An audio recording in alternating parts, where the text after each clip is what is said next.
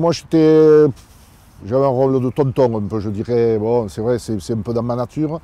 Euh, bon, les joueurs, euh, quand il, y avait, euh, des messages à faire passer, ils venaient peut-être plus facilement. C'était plus facile de, venir me voir à moi qu'aller voir Bernard, qui les, impressionnait peut-être un petit, un petit, peu plus.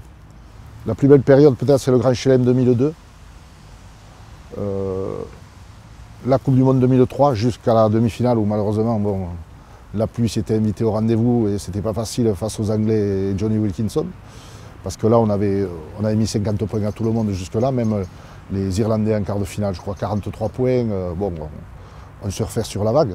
Et là, c'est vrai que bon, la période 2002 et les cinq premiers matchs de, la Coupe du Monde 2003, c'était c'était fort. J'ai passé six ans euh, exceptionnels. C'était bon, même si on aurait souhaité le ponctuer par un titre champion du monde en 2007, mais c'était bon. J'ai vécu des amitiés. Bon, maintenant c'est un petit peu avec Jacques, Jo, Mazo, euh, Bernard, c'est un petit peu la vie à la mort maintenant. Bernard, il a, a quand même une, certaine carapace. Après, bon, si on arrive un peu à la franchir, cette carapace, euh, l'homme peut être différent. Je crois qu'il voilà, il a un peu cette carapace, un peu aussi pour se protéger.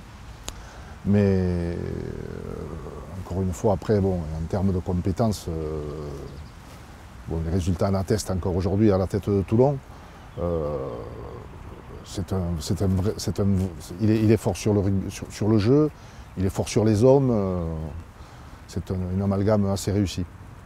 C'est un drôle de mec, c'est un drôle de personnage. Il, est, voilà, il est un peu hors euh, on aime, on n'aime pas, mais bon, c'est un type qui est très fidèle en amitié, euh, voilà, qui, fait confiance, qui fait confiance aux gens. Voilà. Il vaut mieux pas, la trahir, cette confiance, mais non, non, c'est un, que c'est un homme rare. C'est Jean-Pierre Rive qui a dit que son histoire, que quand il n'y avait plus le ballon, il y avait encore les hommes. Et voilà, je crois que c'est une formule qui est complètement vraie.